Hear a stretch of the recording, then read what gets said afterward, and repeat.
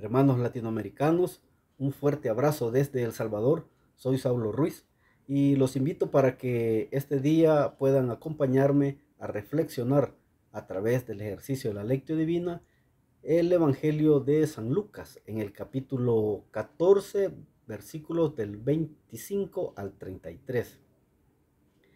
Este relato vemos cómo Jesús es acompañado por muchas personas y nos da a conocer los pasos y condiciones especiales para ser discípulos seguidores de Jesucristo.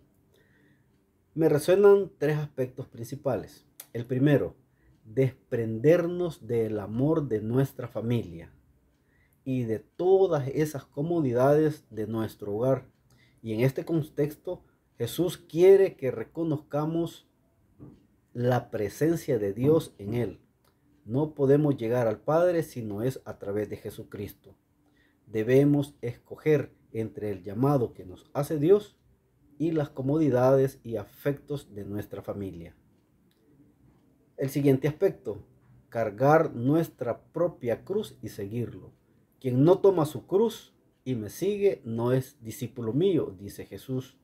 Y es que a pesar de todos esos problemas, dificultades, enfermedades que podemos tener, todas esas cargas que podemos llevar, siempre hay que seguir a Jesús. Si nosotros ponemos la fe en Jesucristo, nuestra carga va a ser cada vez más ligera. Siguiente aspecto, renunciar a todo lo que tenemos supone una libertad para seguirlo dejando todas esas comodidades que cada vez nos alejan de Él. Seguir a Jesús supone que tengo una convicción real y que a pesar de mis limitantes he decidido tomar esa opción. Seguir a Cristo y ser su discípulo no debe ser cultural, sino una verdadera opción personal.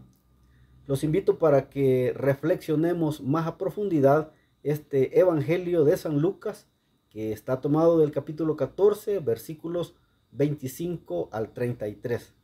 Puede visitarnos en las siguientes direcciones web, cristonautas.com y fundacionpane.org.